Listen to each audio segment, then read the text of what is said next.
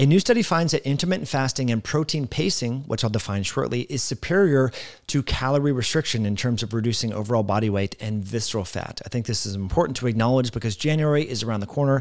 A lot of you are focused on reducing body fat, specifically belly fat, and you might want to know about some of the studies. So let's dive into the study titled Intermittent Fasting and Protein Pacing Are Superior to Calorie Restriction for Weight Loss and Visceral Fat Mass Loss. So this was a nine week trial investigating the effects of intermittent intermittent fasting paired with protein pacing.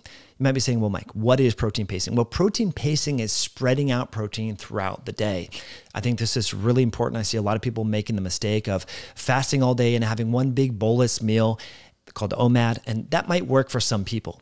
Some physically active people who also exercise during the day to increase muscle protein synthesis and are doing OMAD might benefit from that. But for most people who don't resistance train very often, I think it's better to spread out their protein throughout the day to help to stimulate muscle protein synthesis and prevent muscle protein breakdown. And again, this is known as protein pacing so that we're stimulating uh, muscle protein synthesis throughout the day and, and helping to optimize body composition. Because what good is weight loss if most of the weight that you're losing is from muscle? That's maladaptive. That leads to suppression of energy expenditure and overall your overall resting metabolic rate and insulin sensitivity and strength throughout lifespan. Not good. Okay. So, what was interesting about this study is that the study subjects were randomized to consume the same amount of weekly energy. Okay. So, the overall deficit was, I think, 900 calories or something throughout the, the uh, over the course of the week. Uh, and what they found is that there were significant changes in body composition in a favorable manner, that is, reductions in visceral or belly fat and overall weight loss in the group that did intermittent fasting paired with protein pacing, again, spreading protein out throughout the feeding window compared to people just dieting. This is important because many people say in January, I'm going to do this diet. I'm going to cut my calories. I'm going to eat, you know, 600 calories a day. But most of those calories are not coming from protein. That is a problem. So protein pacing paired with fasting is good. So that's the key takeaways here. Let's dive into this. Uh, any high quality study should look at reductions in total body weight and visceral fat mass loss, as well as lean mass. And so, what I think is interesting about this study is implementing Uh, calorie restriction or fasting with protein pacing helps spare the breakdown of lean muscle mass between the different groups. There was less muscle mass lost in the people that fasted and protein paced compared to people who just dieted.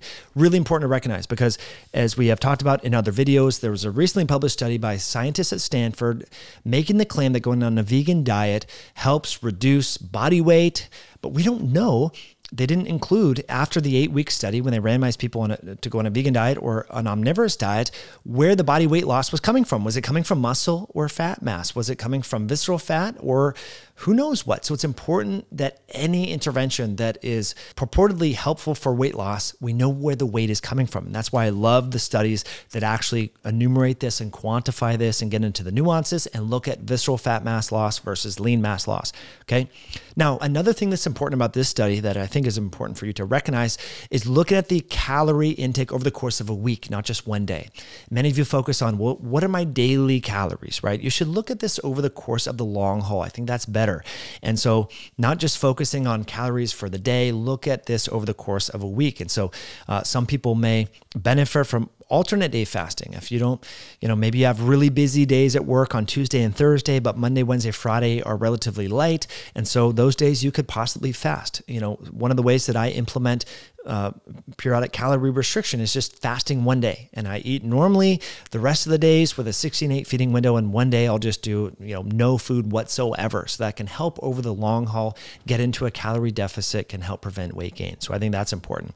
They also say that intermittent fasting and protein pacing result in greater reductions in all of the outcomes that are important total fat mass, and preservation of lean muscle mass loss uh, compared with calorie restriction, despite similar energy intakes and unchanged levels of physical activity or energy expenditure during an eight week weight loss protocol. So I think that's important because, as they say, these findings should emphasize the quality of nutrient intake, focusing and prioritizing protein, minimizing the consumption of processed carbohydrates, particularly sugars. Uh, and they also actually had people eat more fiber. Fiber is pretty controversial. You know, if you think about it, some people get a lot of gas and bloating when they implement more fiber, but fiber does have a satiating uh, property as well. And so I think it's important that we uh, quantify food, prioritize protein, especially if we're dieting for the purposes of losing body fat. So um, again, I just wanted to share this study with you just to remind all of you that if you're going to go on a diet in January, prioritize protein. Spread out the protein throughout your meal window so that you're optimizing the preservation of lean mass and uh, losing body fat as opposed to lean mass. So that's it for today's show. Hopefully, you found this short video helpful. If you did, hit that like button, leave me a comment below, and be sure to share this video with a friend who may benefit from this information. I will link this article in the description below, and we'll catch you on a future one down the road.